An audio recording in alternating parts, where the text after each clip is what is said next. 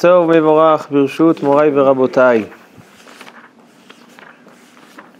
de cette semaine, Parachat Vayetse. Une paracha qui. On a commencé le Chumash Bereshit, mais cette paracha, on sent qu'elle a quelque chose de différent, qui est vraiment. qui n'est pas homogène avec toutes les parachiotes qu'on a étudiées jusqu'à cette semaine. Pourquoi? Parce que depuis le début de Chumash Bereshit, Parashat Bereshit, Noach, Lech Lecha, le déroulement, c'est un déroulement qui, qui, est logique, un déroulement qui est naturel. Par exemple, on voit euh, Abraham, Avinu, lorsqu'il y a la famine, alors il va en Égypte. Lorsqu'il va en Égypte, c'est dangereux pour sa femme, alors donc il va dire que c'est sa sœur. Ainsi, Yitzhak Avinu, lorsqu'il va chez Avimelech.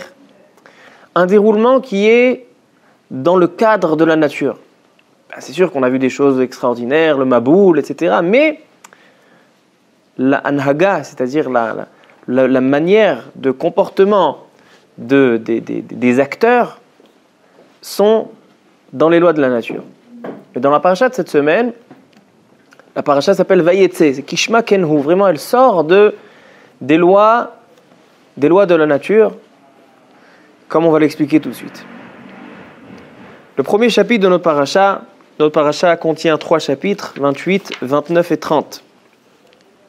Premier chapitre de notre paracha, la Torah nous raconte que Yaakov Avinu, il va, il quitte sa maison, il quitte Eretz Israël pour aller choisir une femme. Et en route, il s'arrête dans un endroit, il va dormir, il va rêver un rêve où Akadash Baruch va faire dévoiler des, anges, des malachim, avec le soulam, avec euh, l'échelle. Tout le monde connaît ce rêve.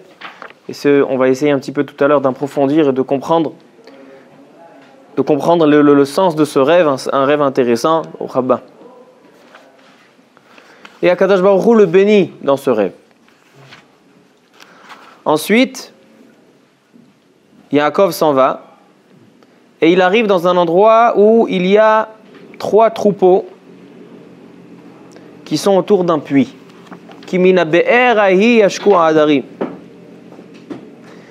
Et c'est là que tous les bergers vont pas donner à boire à leurs troupeaux.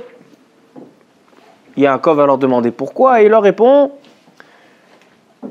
il lui répond qu'il y a une pierre qui est très très lourde, qu'ils n'arrivent pas à la soulever.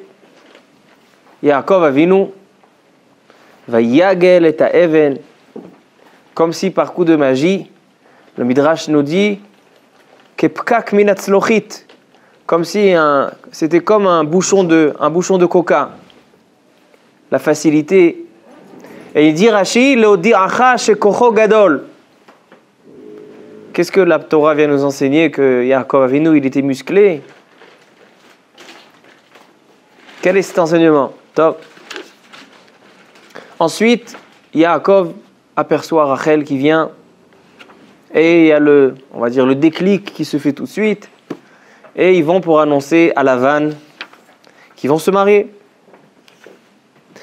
Et tout le monde connaît la ramaout, donc l'escroquerie de la vanne. Il lui dit Tov titi otah lach mititi otah leishacher. J'ai entendu il y a quelques années c'est quoi Tov titi otahlach mititi otah Je préfère te la donner à toi plutôt que de la donner à quelqu'un d'autre. En parlant de Rachel. Et après, finalement, il va lui mentir. Il va lui mettre les A à la place. Titi, la petite gematria de, du mot titi, taf, taf, yud, c'est 4, 4 et 1, parce que la, la petite gematria, ça fait 9. Mititi, on rajoute au 9 4, ça fait 13. Quelle est la petite gematria de Rachel et de Léa? Rachel, c'est Rachel 2, 8, 3, 13. Et Léa, c'est 3, 1, 5, 9. Alors il dit Lavan, Tov, Titi, je préfère te donner le chiffre 9, je préfère te donner Léa, mi Titi, que plutôt que de te donner Rachel, les Ishacher. Ça, c'est le pshat. Il me semble que j'ai entendu ça au nom du Al-Shikh HaKadosh, mais cette semaine, j'ai cherché dans l'Al-Shikh HaKadosh, je n'ai pas trouvé. Mais en tout cas, entre parenthèses, vous savez que l'Al-Shikh HaKadosh, Rabbeinu Moshe Al-Shikh, qu'on va étudier aujourd'hui dans ses enseignements, on a entendu de notre maître, Rav Volkin, Allah Shalom, il disait, et c'est une histoire connue, Katzfat, il y a à peu près 450 ans, vivait le Al-Shikh HaKadosh à l'époque de Maran Abet Yosef, Rabbeinu Yosef Karo. Il vivait dans cette époque-là. Et le Shabbat, toute la ville de Tzfat se rassemblait dans le Bet Knesset, dans la choule de, de Rabbi Moshe Al-Shich, le Al-Shich HaKadosh, puisqu'il avait des drachot vraiment hors du commun, extraordinaires. Et voilà que, et voilà que se rassemble ce Shabbat, Shabbat Vayetse. Donc ce Shabbat-là se rassemble dans le Shabbat Vayetse, dans la synagogue, il y avait là-bas tous les grands de Tzfat, Rabbi Shlomo El Kabetz, l'auteur du Lechadodi.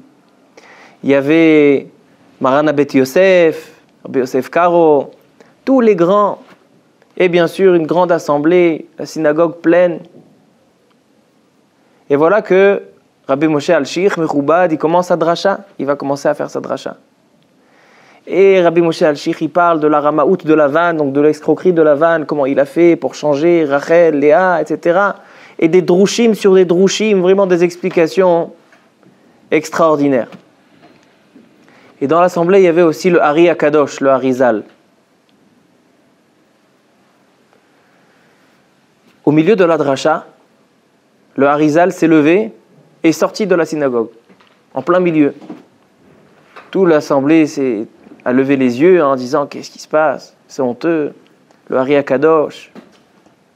Après, ils ont demandé au Harizal, pourquoi tu es sorti en pleine dracha du géant Rabbi Moshe Al-Shir? Il répond, et il dit le Harizal, sachez que lorsque je suis rentré dans la synagogue et que je me suis installé et commencé à écouter la, dracha de Rabbi Moshe Al-Shir, j'ai vu qu'il n'y avait pas seulement des gens de Tzfat qui étaient là. Les anges sont descendus. Les anges sont descendus dans la synagogue pour écouter la dracha de Rabbi Moshe Al-Shir et même la vanne Arami, ils ont fait sortir la vanne du Gehenom pour venir écouter les malices que lui-même il a fait, pour découvrir toutes les choses. Vous savez qu'il a marqué à Seret Monim, il a fait 100 Ramaouyot. Et en pleine dracha, quand Rabbi Moshe al-Shikh, il a vu que le Tzibour, il est étonné, il est vraiment époustouflé des pirouchim et des drachot qui fait Rabbi Moshe al-Shikh. Rabbi Moshe Al-Shikh, à son niveau, bien sûr, on parle au niveau de Rabbi Moshe, il y a eu un brin de, de Ga'ava, un petit peu d'orgueil, mais vraiment quelque chose à son niveau. D'accord On parle au niveau de Rabbi Moshe Al-Shikh. Et il dit le Hari Akadosh, à ce moment-là, tous les malachim se sont retirés. Et qui est resté? Seulement Lavan Arami. Et il a dit le moi avec Lavan Arami, j'ai pas envie de rester tout seul. Ça, c'est parachat Vayete, une paracha Lopshuta. Alors donc, on continue. Ensuite, Léa se retrouve le matin, il voit que c'est Léa et non pas Rachel. Rachel, elle a, donné les simanim. Vous savez que Yaakov s'attendait à un coup de, tour de, de la vanne. Alors il a dit Regarde, on fait un signe entre nous. Et lorsque Rachel a vu que Léa va avoir honte, elle lui a transmis les signes. Masra la est simanim. Et Vayar Hashem qui s'enoua Léa va iftach et rachma. Léa s'est sentie un petit peu repoussée.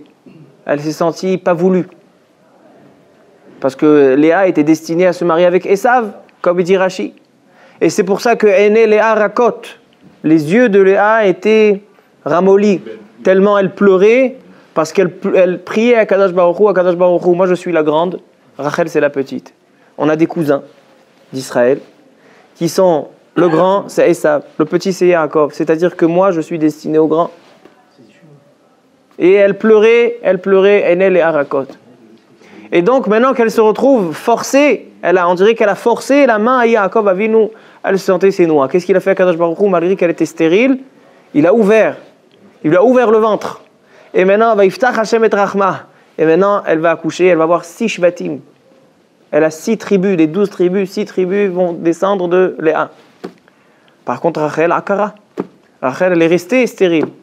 Rachel et Léa, les deux étaient stériles. Sauf que Léa va Iftach Hashem et Rachma. Mais Rachel est restée stérile. Ensuite, les deux Shifrot, Zilpa et Bilha, ils vont avoir aussi deux Shvatim chacun, deux tribus. Jusqu'à temps que, donc, qu'est-ce qui reste? Six chez Léa, quatre chez les Shfachot, et reste deux tribus. Léa tombe encore enceinte. Suite à quoi? Alors il y avait une histoire dans la paracha, comme on voit dans le Père Eklamed, les Doudaïm de Réhouven. Réhouven, Bimeketzir Chitim, c'était en plein été, à l'époque de Shavuot. Il va chercher le, blé. C'est l'époque de Ksiritim. Et il ramène avec lui des Doudaïm. Doudaïm, dit Rashi, c'est le jasmin. Yasmin, Be'aravit. Et Rachel, elle voit ce jasmin, elle le demande, elle dit Moi j'ai envie. Et Léa, elle s'oppose Déjà, tu as pris mon mari. Bah, tu veux prendre aussi les doudaïs bénis, le jasmin. Comportement un peu étonnant. Et elle dit Tu sais quoi Prends mon mari ce soir. Qu'est-ce qui se passe? Très étonnante cette paracha. De là va naître Issachar, parce que, on va voir tout à l'heure, Reuven, c'était Bimé Ketzir Chitim, c'était à la période de Shavuot. Et à Shavuot, elle tombe enceinte de Issachar, que Issachar symbolise la tribu de la Torah, qui est donnée à Shavuot. Et les Doudaïm, ils ont un rapport avec ça, on va voir tout à l'heure. En tout cas, la paracha continue en disant que Léa tombe enceinte une septième fois. Mais là, Léa, elle dit je ne suis pas d'accord, c'est la Gemara dans Brachot. La Gemara Brachot d'Afsamer. Elle dit la Gemara que Léa a dit Je ne suis pas d'accord que ce soit un garçon. C'était un garçon, mais il s'est transformé en fille et c'est devenu Dina. Parce qu'elle a dit Si c'est encore un garçon, donc je vais avoir un septième, un septième chevette. Alors ma sœur aura seulement un, elle sera moins que les servantes. Donc on voit dans le parachat d'un côté Rachel qui a de la peine de Léa, et qui va faire un grand sacrifice pour Léa en lui transmettant les simanim et laisser la place pour se marier en première avec Yaakov. Et d'un autre côté, Léa qui va avoir de, la miséricorde, elle va avoir pitié de Rachel. Et donc elle va renoncer à une naissance d'un chevet pour le donner à, à sa sœur Rachel. En tout cas, Yaakov traverse une période pas facile du tout. Sept ans pour Rachel, c'était pas Rachel. Encore une fois, sept ans pour Rachel. Et après encore six ans où il est berger de Lavan. 21 ans de souffrance. Ensuite, la paracha continue, et c'est avec ça que ça se termine. Yaakov, après la naissance de son onzième fils, Yosef Hatzadik, il vient chez Lavan et il dit Je veux rentrer chez moi, je veux rentrer en Eretz Israël. Pourquoi après la naissance de Yosef Pourquoi il n'est pas parti avant ou après? Rachid dit que, que Yaakov ne voulait pas sortir de cet endroit-là et revenir en Eretz Israël sans que le Satan de Esav est né. C'est quoi le Satan de Esav? C'est-à-dire que rentrer chez lui sans Yosef, que Yosef c'est l'opposant à Esav, ce n'est pas possible. Il pourrait être tué par Esav en rentrant. Il faut que Yosef naisse, parce que Yosef, c'est le stano shel Esav. C'est celui qui va combattre, être contre Esav. Comme il y a un passou qui dit Ou bet Yosef le hava, ou bet Esav le cache. Le passou qui dit que Esav, c'est la paille, et Yosef, c'est la flamme. C'est Yosef qui va combattre Esav. Et moi, je vais vous poser une question simple. Pourquoi Yosef? Yaakov Pourquoi Yosef? Pourquoi pas Réhouven Pourquoi pas Shimon? Et comme ça se termine la paracha avec encore un point, c'est qu'avant de quitter la vanne, il lui dit avec la vanne, ils ont un accord. Parce que maintenant il faut qu'ils partent avec un petit peu de bétail. Nikudim, Utluim, Ve'akudim. C'est quoi le Inyan? Il prend le troupeau et il dit Tiens, la vanne, prends tous ceux qui sont tachés, tous les moutons qui sont tachés, tu les prends. Maintenant, moi, tu me laisses que les, les vieux. Moi, je vais aller et je vais les faire multiplier. Moi, je prendrai afin que tu sois sûr que je t'ai pas pris de ton troupeau. Et qu'est-ce qu'il fait encore avec nous? Afin de les multiplier, il prend des bâtons, il les met dans le fleuve, et il fait que le bâton, il ait des taches. Sur le bâton, il, a un, il épluche un petit peu, il y a des taches sur le bâton. Et lorsque les, lorsque les, les chèvres et le bétail ils vont tomber enceintes, ils vont regarder, observer ces bâtons, et il y a une loi que la femme, ou quand, la femelle, elle observe quelque chose lorsqu'elle elle tombe enceinte, le fœtus, il a la même couleur, il s'imprègne de la chose. À tel point que j'ai vu dans le Me'am Loez, Rabbi Yaakov il ramène une histoire, une histoire qui est ramenée dans les, dans Midrashim, même dans la Gemara, qu'une fois, hein, il y avait un couple noir, un couple africain noir. Ils ont eu un enfant blanc. Alors bien sûr, le mari n'était pas content. Ah, Qu'est-ce qui se passe? Ils sont allés chez un des sages de l'Agmara. Et le sage de l'Agmara, il leur a répondu à partir de la paracha de la semaine. Il leur dit, vous voyez, le bétail, il n'était pas de la couleur des bâtons, mais les, chèvres et les petits chevreaux qui sont sortis, ils ont eu la couleur des bâtons. Pourquoi? Parce que lorsque, lorsque la femelle, elle est tombée enceinte, elle a observé. Donc peut-être que la femme, elle a observé, elle n'a pas observé son mari, elle a observé autre chose, et donc elle a observé le mur blanc, et donc il est sorti blanc. Top. Alors voici la paracha Rabotai. On va poser quelques questions. Mais ce soir, le Shem Shinui, on va changer de notre habitude.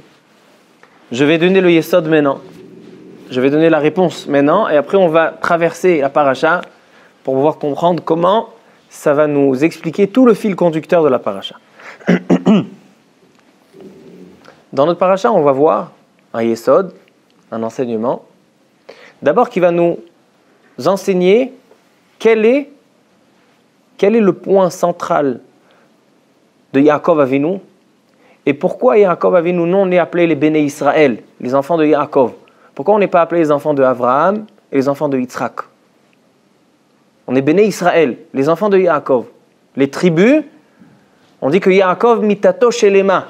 C'est quoi mitato shelema son lit est complet. C'est-à-dire que quoi? C'est-à-dire que les descendants de Yaakov sont tous tzadikim. Abraham, il a eu Ishmael. Yitzhak, il a eu Esav. Yaakov, kulam tzadikim. Mais quel est le, quel est le point amok? Quelle est la, profondeur de ce, de Alors on va voir ce soir que Yaakov nous, il a instauré une notion phénoménale. C'est que Yaakov, n'avait pas peur d'aller contre les lois de la nature. Lorsque Yaakov avait, il avait pour objectif de suivre le chemin d'Akadosh Baruch il est allé même contre les lois de la nature. Vous allez me dire que Abraham aussi, il a eu les Nisyonotes, Yitzhak aussi, il a eu l'Akedah, on va voir que non, que Yaakov, il y a quelque chose de différent, que Yaakov, il a instauré qu'un homme, il est capable d'aller contre les lois de la nature et que nous, le Israël, notre, notre distinction parmi les nations, pourquoi on est si spécial? Parce qu'on a dans nos gènes, on a cette capacité d'aller contre la nature. Des fois, on a des sentiments, que les sentiments, naturellement, nous poussent à faire des choses. Eh ben non. On a la force dans nos gènes d'aller contre la nature. C'est ça le Essad qu'on va voir, et on va voir encore plus que ça. C'est que c'est ça le secret du Bet Amigdash Ashlishi, le troisième Bet Amigdash qui va être construit, qui ne sera pas détruit, qu'on voit dans la paracha, qui se trouve dans, cette paracha-là, Mina C'est quoi les Be'erot? Ce sont les trois Beth Amikdashot. On va voir que le rêve de Yaakov, le Soulam, le Al HaKadosh, il dit que c'est Shlosha Beth. On voit beaucoup la notion du Beth Amikdash dans cette paracha. Rashi aussi, il ramène comme tout à l'heure, on va voir. Et la notion du Beth Amikdash, vous savez que tout le monde, il est, son énergie est puisée du Beth Amikdash. Comme il y a marqué, Even Ashtia, au Beth Amikdash, il y avait le Even Ashtia, Shemimena Olam. Toute l'énergie du monde, toute l'existence du monde est puisée, la, source est au Beth Amikdash.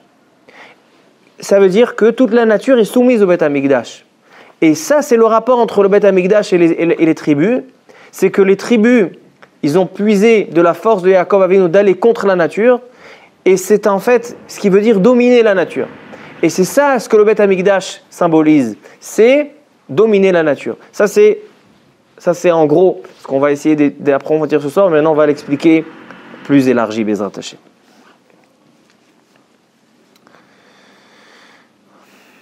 On va commencer par les paroles du Al-Shikh HaKadosh. Je vais vous demander de regarder au début de la paracha, mais à la fin de la paracha de la semaine dernière, puisque le, début de la paracha commence au Perek Kafret Pasuk Yud. On va voir le Pasuk avant, à la fin de paracha Toldot. La paracha Toldot se termine en disant וירא עשו כי רעות בנות קנען בעיני יצחק אביו. וילך עשו אל ישמעאל, ויקח את מחלת בת ישמעאל בן אברהם, אחות נוויות על נשיו לא לאישה. התורה נורא קונט, כעשו הרשע, היווה, אילה אנטנג'ו, כיצחק ורבקה ודמנדה היה יעקב דלי שרשי אינפם של לבן הפדן ארם, של לבן, צורנוקל, et de ne pas prendre des femmes de Canaan. Pas de, en Israël, ils ne voulaient pas prendre, parce que Raot benot Kenan, ils n'étaient pas dans le droit chemin. Alors donc, il a demandé de partir. Esav, il a entendu ça. Et comme Esav, lui, il fait Kiboud Avahem, alors lui aussi, il est allé, il n'est pas parti de prendre de fille de Kenan, il est allé chez Ishmaël et il a pris la fille de Ishmaël en mariage. Et.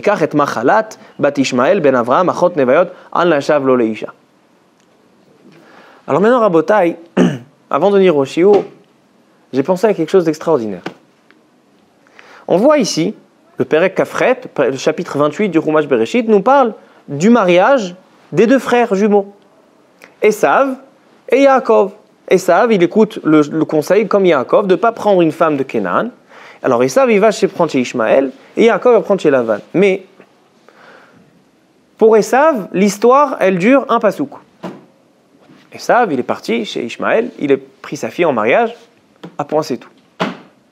Par contre, Yaakov, son mariage, il va être tellement compliqué le mariage de Yaakov, qui va durer d'abord toute une paracha, il va durer 21 ans, et quand il va chercher une femme, il se retrouve avec quatre femmes. Quelle est cette, cette euh, différence si, comment on dit kitsonite? Si étrange. D'accord, on voit que Esav, c'est si facile pour lui d'aller se marier, et Yaakov, c'est si compliqué tellement d'embûches en chemin, tellement de difficultés. Et ça, c'est de là qu'on peut trouver ce Inyan que Yaakov Avinu, il va contre la nature. Lorsqu'il va pour aller chercher, il va chez Lavan à Arami, il sait que Lavan à Arami c'est un Ramaï. Arami, c'est les lettres Ramaï. Il sait que ça va pas être facile. Il sait que ça va être long. Eh ben non, bah il le fait contre la nature. Mais ça, c'est ce, que j'ai envie de, de développer ce soir. Il dit le Kadosh. Comment ça se fait que la Torah, elle nous parle de, de Esav qui va chercher une femme et de Yaakov? Le, chapitre Kafret, le chapitre 28, il commence en disant que Yitzhak et Rivka ont demandé à Yaakov d'aller chercher une femme. Alors termine avec Yaakov. Après, parle-nous de Esav. La Torah a coupé l'histoire de Yaakov avec l'histoire de Esav. Pourquoi, en quoi ça nous intéresse et pourquoi on le coupe Alors il dit le Rabbeinu Moshe Al-Shir. J'ai ramené son livre ce soir. Écoutez un pirouche, nifla beyoter. Il dit le al Kadosh qui, que dans la Torah, le mot ve'ene, il est trois fois dans la Torah, dans le Tanakh. Le mot ve'ene, les yeux.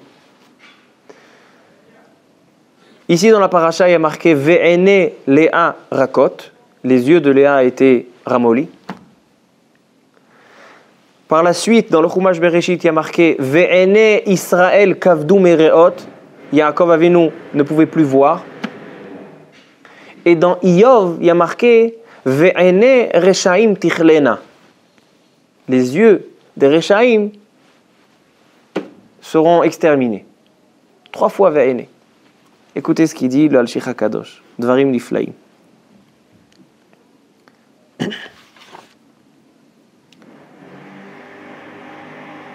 Il dit, lorsque Esav, Yaakov Avinu, il voit que Esav, il part chez Ishmaël pour aller chercher une femme. Écoutez ce qu'il dit, Mamaj Davar Niflaim. Aïnian, Léa, elle pleurait. Ve'ene Léa Rakot. Léa, elle pleurait de peur qu'elle va tomber chez Esav. Qu'est-ce qu'il fait à Kadosh Baruch Il va donner l'idée à Esav d'aller chercher une femme chez Ishmaël. Pourquoi Esav? Si vraiment il écoute ses parents, alors il prend pas une femme de Canaan, mais va prendre chez Lavana Arami. Tu sais que il y a une grande fille et une petite, Léa et Rachel. Va chercher une femme qui t'a décidé. Si tu fais Kibud Avaem, fais jusqu'à la fin. Il, il, pas écouté, il a écouté le conseil de ne pas prendre de Kenan, mais il n'a pas écouté le conseil d'aller prendre chez Lavan. C'est étonnant, il dit l'Al-Sheikh Akadosh. Il dit, mais tu sais quoi? Akadosh Baruchou, pour les tzadikim, il change les lois de la nature. Et qu'est-ce qui s'est passé? Esav, quand il a entendu de son père et de sa mère, à Yaakov en disant Ne prends pas les filles de Kenan, il n'a pas écouté plus que ça. Qu'est-ce qu'il a fait? Il est sorti, il est allé chez Ishmaël. Qu'est-ce qu'on a gagné? On a gagné deux choses. D'abord que Léa ne se retrouvera pas chez Esav, avec Esav. Et deuxièmement, que Yaakov va pouvoir aller chercher sa femme. Parce que qu'est-ce que Esav voulait? Esav voulait tuer Yaakov. On a vu, il va se faire tuer par son frère, sur la route ou là-bas. Alors ça veut dire que Kadosh Baruchou, il a aveuglé les yeux de Esav et il est allé chez Ishmaël. Et donc de là, on a eu le chidour de Yaakov et de, et de Léa. Et continue l'Al-Shir HaKadosh en disant, et c'est ça le rêve. Venez maintenant, on voit dans la Torah le rêve de... Quel est le rêve de Yaakov Avin Vayetse Yaakov mi Be'ershava, vayelech Harana. ויפגע במקום, וילן שם כי בא השמש, ויקח מאבני המקום, וישם מרעשותיו, וישכב במקום ההוא. Il a pris des, des pierres et les a mises à sa tête.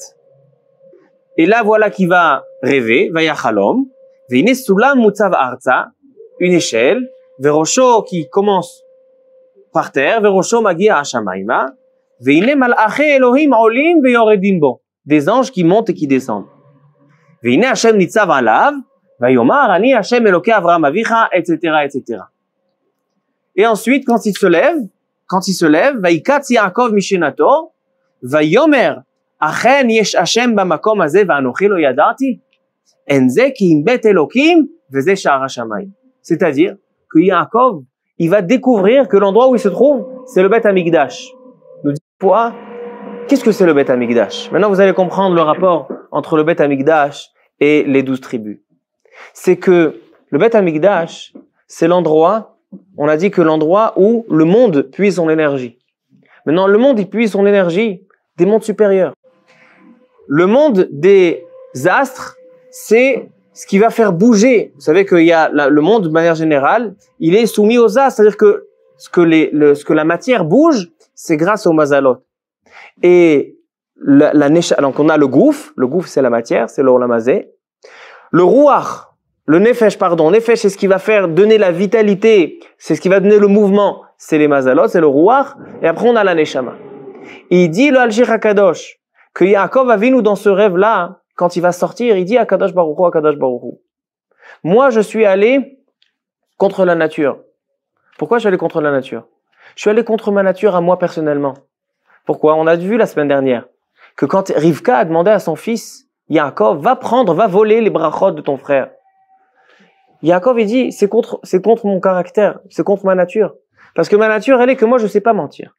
On a dit que la semaine dernière, on a défini la différence entre Esav et Yaakov, c'est que Yaakov, il sait pas mentir. Il sait pas. Ou lieu d'aller Ramot. Et qu'est-ce qu'il a fait? Il est allé chez son père et il a utilisé la Ramaout de Esav. Il est allé contre sa nature. Et là, quand il a reçu les brachot, maintenant il vient pour sortir. Il dit à Kadash Baruch moi j'ai peur de partir. J'ai peur que Esav me tue. J'ai peur que Lavan, pendant 21 ans, il va me faire tourner en bourrique. Il dit à Kadash Baruch il lui fait rêver. Quel est ce rêve? Dans ce rêve, il va lui montrer un soulam, une échelle. Qu'est-ce qu'elle a cette échelle? Cette échelle, elle est Muna Sulam Utsav Arza. C'est la Neshama. Et on nous parle en fait des trois mondes qui sont soumis, qui sont soumis à Yaakov Avinu. Maintenant, Rabotai, on va, je vais vous raconter une Gemara. Il y a une Gemara dans ma Sechet Yevamot, dans la page 64. Là-bas, il y a une Mishnah qui dit qu'un homme qui est marié avec une femme, 10 ans, et ils n'ont toujours pas d'enfant, il a le droit de la divorcer. Pas une obligation, mais il est préférable de faire un divorce afin que les deux vont pouvoir avoir des enfants par d'autres mariages. Nous dit la Gemara, pourquoi les patriarches étaient tous stériles?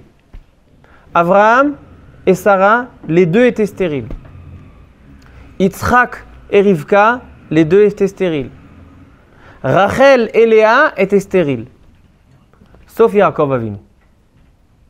Comme ça dit la Gemara. Mais elle dit pourquoi tous les autres patriarches étaient stériles?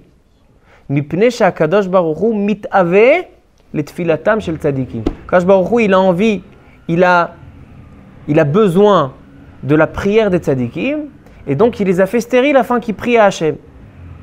C'est très étonnant. D'abord, pourquoi il y a un covenant Pourquoi il y a un covenant quand Yaakov a Kadosh Baruchu lo lo atfila Et deuxièmement, qu'est-ce que ça veut dire mitave les tfilatam? T'as pas d'autre moyen d'avoir un rapport et un lien avec les tzadikim, tu as besoin de les faire souffrir pour qu'ils fassent la tfila, mais il a envie de la prière, les tzadikim ils prient même sans. C'est vrai qu'on prie plus quand on a besoin, mais c'est un petit peu... C'est pas sympa de faire ça, c'est un petit peu cruel de faire ça. J'ai trouvé un maharal, Rabotai. Un maharal nifla beyoter. Un maharal là-bas dans la Sechet Yevamot. Il dit le maharal qu'Akadosh Baruch lui, c'est la, la ila. C'est quoi la ila? Kadosh Baruch c'est la raison de toute la création. C'est la création elle-même. C'est lui qui a tout fait, c'est lui qui a tout créé. C'est la ila. On a le ilul. C'est quoi le ilul La raison pour laquelle Akadosh Baruch il a créé tout ce qu'il a créé. C'est Am Israël. Et Akadosh Baruch il veut qu'il y ait une connexion entre la ila et la ilul, entre le, créateur et la raison de la création. Comment ça se fait? Ça se fait par la tfila. Pourquoi? Parce que la tfila, le langage tfila, on l'a dit plusieurs fois, que tfila, c'est le langage de se rattacher. D'accord? Ici dans la paracha, c'est la source. Pourquoi Naftali s'appelle Naftali Il dit Rashi, Naftule Elokim Niftal Teimachoti. Il dit Rashi là-bas que Léa et Rachel, elle dit Je me suis, suis associé, je me suis attaché avec ma sœur pour avoir les tribus. La tfila, c'est un rattachement. Et donc, Akadash Baruchou, c'est pas qu'il veut la tfila. Akadash Baruchou, il veut la connexion. Akadash Baruchou, il veut la connexion entre lui et Am Israël. Parce que tout ce qu'il a créé, tout ce qu'il a créé c'est pour l'association de ces deux choses. Maintenant, Rabotai, pourquoi Yaakov Avinu, lui, il n'était pas stérile Il dit le Maharal, une phrase que je n'ai pas compris, mais selon ce qu'on explique, j'ai compris. Il dit le Maharal, que Yaakov Avinu, il était connecté à la racine de la vie qui donne des enfants, et c'est pour ça que Yaakov Avinu l'omet. Yaakov Avinu, il était rattaché à la source de la vie, et donc c'est pour ça qu'il a eu des enfants, et c'est pour ça que la Gemara dit que Yaakov Avinu n'est pas mort. J'ai pas compris cette phrase du Maharal. Mais Rabotai, je pense que ce soir on a la réponse, on a l'explication de tout ça. Comme j'ai dit tout à l'heure, j'ai ouvert le chiot en disant qu'il y a une grande différence entre Abraham, Yitzhak et Yaakov. Il y a une grande différence entre toutes les parachiotes depuis le début de Chumash Bereshit et la parachat Vayetse.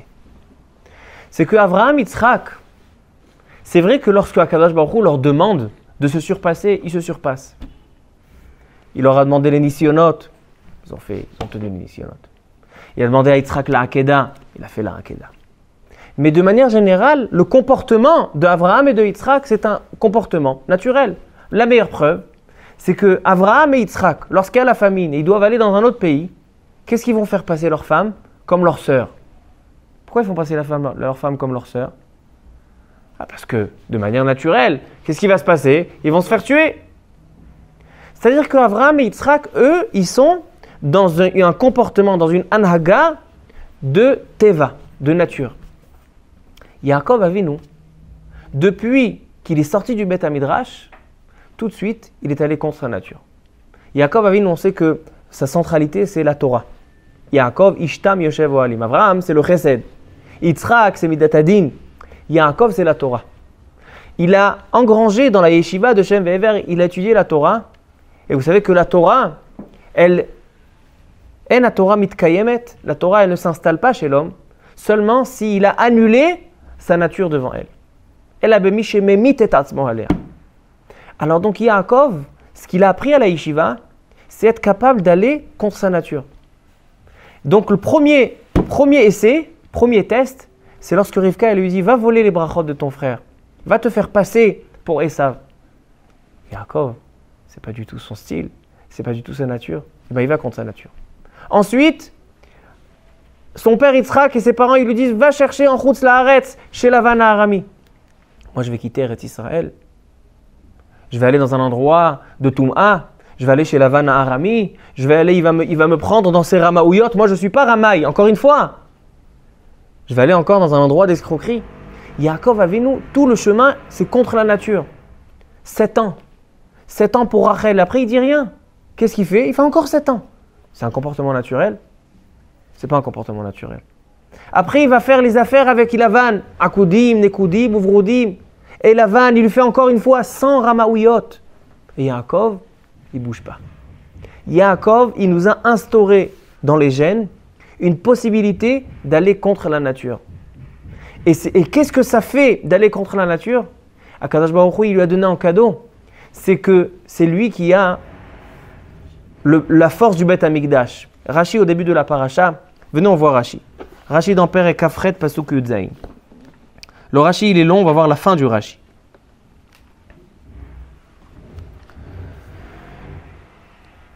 Quelques lignes avant la fin de Rashi, il dit Rashi, Veu Aramoria. L'endroit où, où il y a eu lieu le rêve de Yaakov, c'était à Haramoria. Palelbo Avraham. C'est l'endroit où Avraham Avinu, il a prié. Veu bo D'accord Vous savez que le même endroit, l'endroit du Beth Amikdash, c'est là où il y a eu la Hakeda, où il y a eu Aramoria. C'est l'endroit où Yitzhak il est allé prier. Vechen amru Avraham, cette phrase elle est très connue, mais elle nécessite explication. Lo Avraham shekera ohar. Avraham Avinu, il a appelé le Beth Amikdash, il a appelé Har, montagne. Parce qu'il a marqué Aramoria. Velo ke Yitzhak shekrao sade. Parce qu'il a marqué Re'ereach beni kereach hasade. Ela ke Yaakov shekrao bait. Le Bet Amigdash, il a été mentionné et défini par nos trois patriarches par trois termes différents. Avram, il a appelé le, le, le, le, il a appelé montagne, Har. Yitzhak, Sadé, le champ. Yaakov, le bait. Il dit le Rabbeinu Moshe Algir que ces trois définitions symbolisent les trois bêtes amigdash. Pourquoi? Le premier bête amigdash est marqué dans le Pasouk que lorsque le bête amigdash a été détruit, ils ont vu le Har. Le premier bête amigdash, qui est Neged Avraham, puisque Avraham avinu mitato lo Il a eu un enfant qui s'appelle Ishmaël, donc le premier bête amigdash n'a pas tenu. Et c'est Har. Le deuxième Beth Amikdash, c'est le Sadé, comme est marqué Tzion Nechresha Kesadé. Il a marqué dans Echa. Il y a marqué là-bas qu'elle a été labourée comme un champ. C'est Yitzhak. Mais Yaakov a vu que lui, Mitato Shlema, que son lit est entier, c'est-à-dire qu'il a une descendance que de tzadikim, mais le Amikdash, le troisième Amikdash, ne se détruira jamais. Pourquoi? Selon ce qu'on dit, c'est compréhensible. Yaakov Avinu, il a défini, il a ramené une notion que le juif a une capacité d'aller contre sa nature. Et qu'est-ce que ça le ramène? Ça le ramène que la nature, n'a plus d'emprise sur lui. C'est pour ça que Yaakov Avinu, il a tout de suite défini le Beth Amidash comme Bet El, comme un, comme un. Et ça, c'est ce qui va ramener la Nitzriyut. C'est-à-dire, on ne pourra pas anéantir le troisième Beth. C'est ça la force. C'est ça la force de Yaakov Avinu. Et c'est ça ce qu'on voit dans toute la paracha. C'est ça ce qu'on a vu maintenant chez Yaakov. C'est ça il dit, comme ça que j'explique le Maharal. Il dit le Maharal, pourquoi tous les patriarches, les Avot et les Imaot, ils étaient tous akarim, tous, ils étaient tous stériles. Il n'y a que Yaakov qui n'était pas stérile. Il dit pourquoi le Maharal, il dit Il était connecté à la source de la vie. C'est quoi la source de la vie? Yaakov a vu non. C'est quoi le but de la tfila, il dit le Maharal? Le but de la tfila, c'est de se rattacher à Hachem.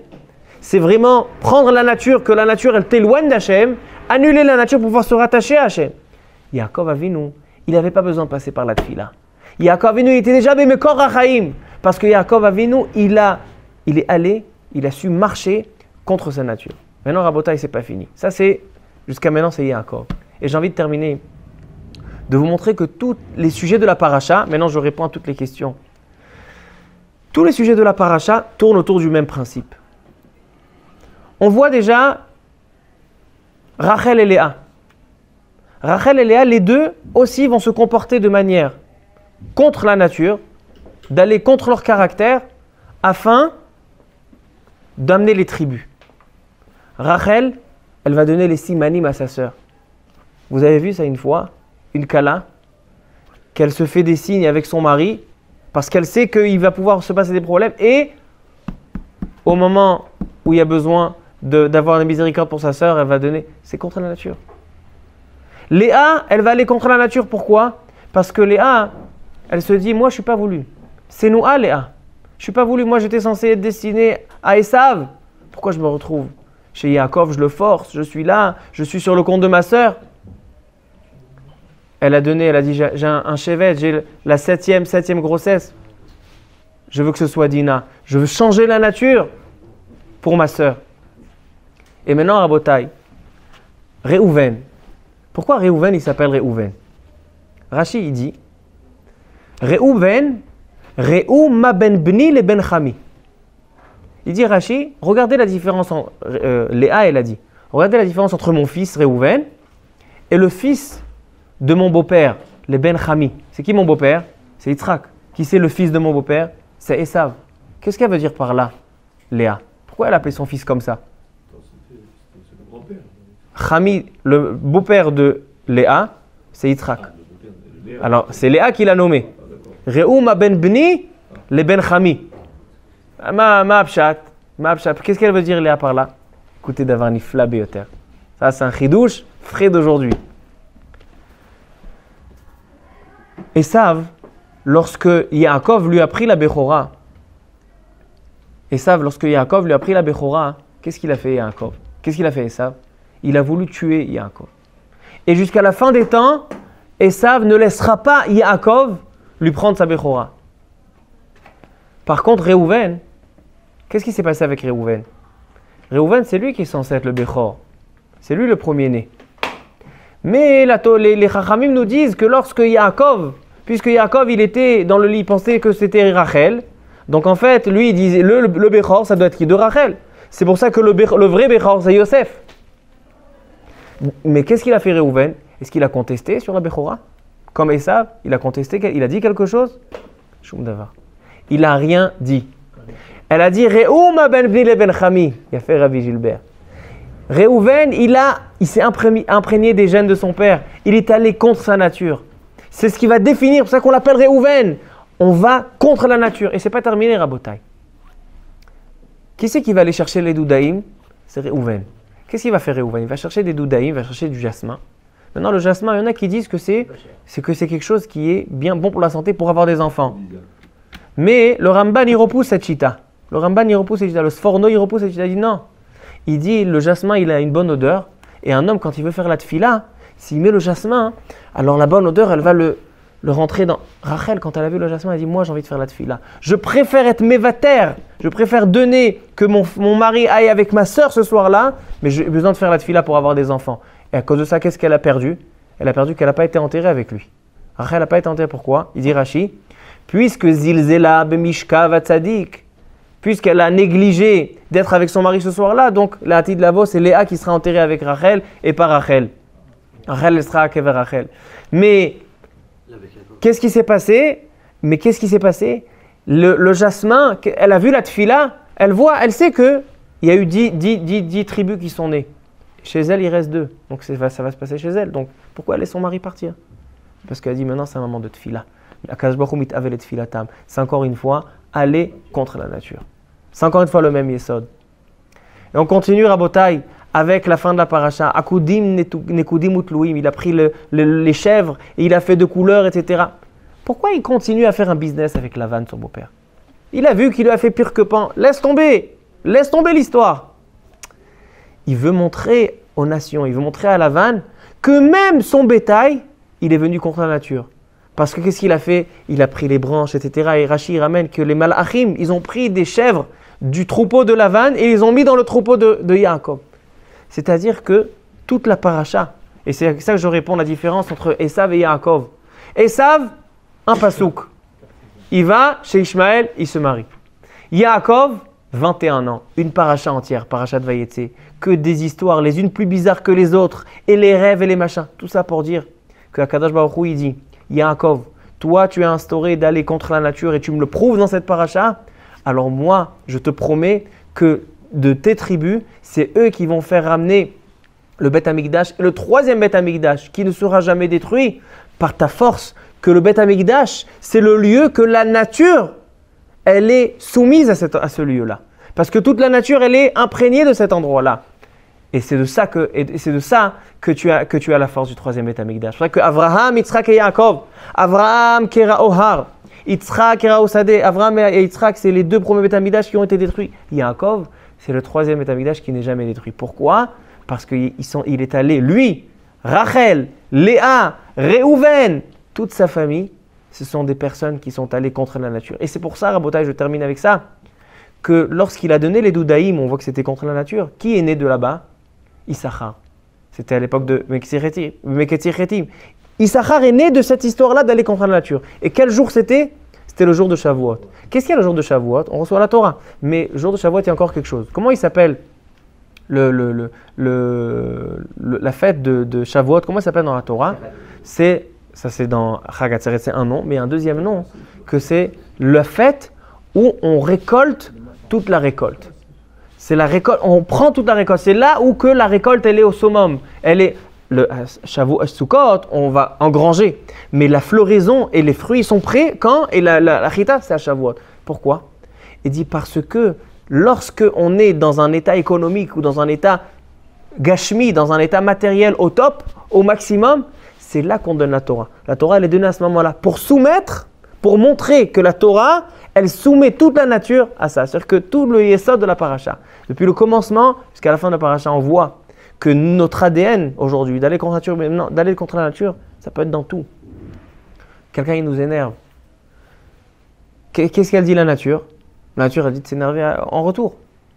Le juif, il a la force de ne pas s'énerver en retour. Un homme, il est fatigué. Qu'est-ce qu'elle dit la nature? Qu'est-ce qu'elle dit la nature? D'aller dormir. Eh bien, le juif, je ne dis pas que tous les juifs sont comme ça. Je dis que chaque juif, il a la, force et la capacité, parce que c'est ce qu'il a hérité dans ses gènes. Alors, Yehiratson Rabotai, qu'on suit le chemin de Yaakov Avinu, que c'est le chemin qui nous a ramené au troisième, qui va nous ramener Bezrat Hashem, au troisième Betamigdash qui ne sera jamais détruit. Pourquoi? Parce que tous les Betamigdash, ils sont liés aux lois de la nature. Il y a des Umot Olam, il y a des, des, des, des Marin Bishin, Bavel, Mada, ils veulent s'emparer du Betamigdash. C'est naturel que des nombreux, ils vont gagner des, un petit minor, la minorité.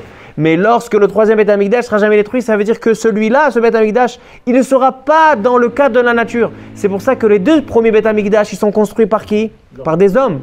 Le troisième Betamigdash, Yored Esh Shamaim. Il n'est pas naturel. Ça, c'est grâce à quoi Grâce à la force, à au gène qui nous a été transmis par Yaakov Avinu, une capacité d'aller contre notre nature. Baruch Adonai Le'olam. Amen ve Amen. המרחם על כל בריאותיו ויחוז ויחמול וירחם על נפש ורון שמה שאין נפטרים שם טוב מן העולם. רבי דוד בן רוזה, בנימין בן רוזה, ואת הרב חיים בן ציגי, המורנו הרב.